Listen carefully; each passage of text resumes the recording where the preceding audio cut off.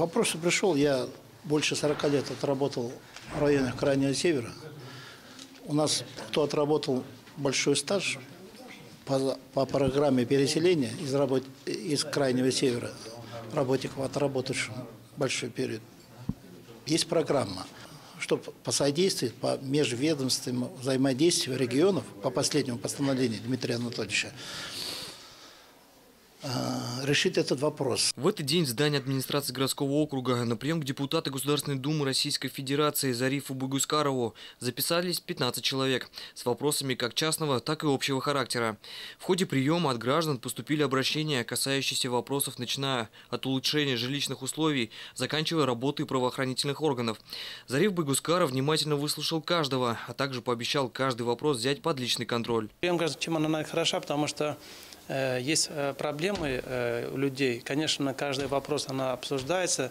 Я изучаю его лично и посмотрю, то есть есть ли нарушения со стороны тех органов власти, которые должны быть решать. То есть э, здесь, конечно, в этом отношении оказывается помощь.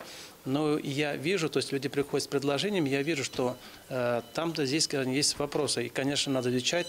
Возможно, здесь какие-то органы тоже не дорабатывали. Это такая вот э, прямая связь, связь э, с избирателями. Это, конечно, для меня это очень э, необходим, потому что я его буду учитывать в работе. Прием граждан проходил в течение двух часов. По его окончанию депутат Государственной Думы поделился журналистами своими впечатлениями, которые сложились у него за время общения с горожанами. Негатива я в отношении администрации города Кумертау я не услышал. То есть у них такие разумные предложения. Э, Есть желание оказать помощь в работе администрации. Есть некоторые вот разумные, э, есть э, как и у них предложения, которые они хотят э, совместно с администрацией работать. Поэтому с этим предложением будем э, вместе работать. Константин Меркшин, Владимир Кузьмин, телекомпания «Арис».